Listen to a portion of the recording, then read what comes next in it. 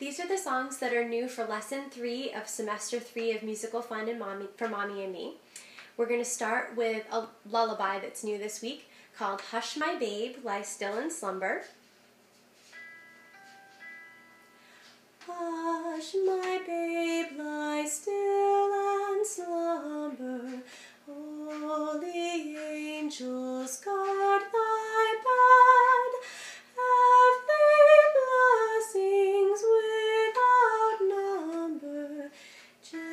Gently stealing on thy head.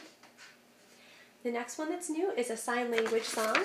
It's to the tune of Three Blind Mice and we'll be doing some signs along with that. So, of course, mice, play, nibble, we'll do the sign for eat, thank you, please, and finally, mice again. And we'll also pretend to sneeze, achoo, in the middle. So here we go. Three nice mice,